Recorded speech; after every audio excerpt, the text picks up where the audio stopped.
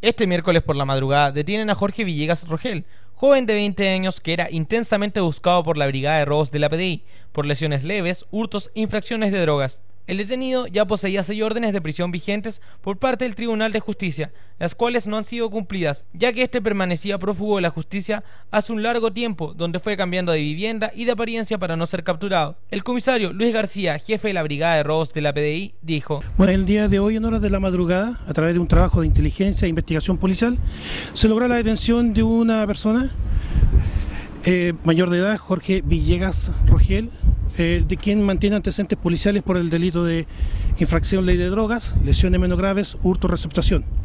Esta persona además registra y mantiene seis órdenes de detención vigente del juzgado de garantía de Punta Arena por los delitos de robo, de hurto, perdón, y receptación. Esta persona desde el año 2010 a la fecha se encontraba prófugo a la justicia y para eludir el accionar policial eh, se ocultaba y cambiaba de apariencia en el sector alto de la ciudad de Punta Arena.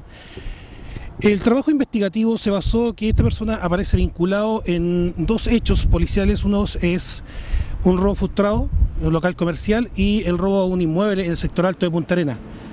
Los antecedentes de la investigación están siendo evacuados al Ministerio Público para determinar las acciones a seguir. García, como jefe de la Brigada de Robos de la Policía de Investigaciones, finalizó señalando que el detenido queda a disposición de tribunales de justicia.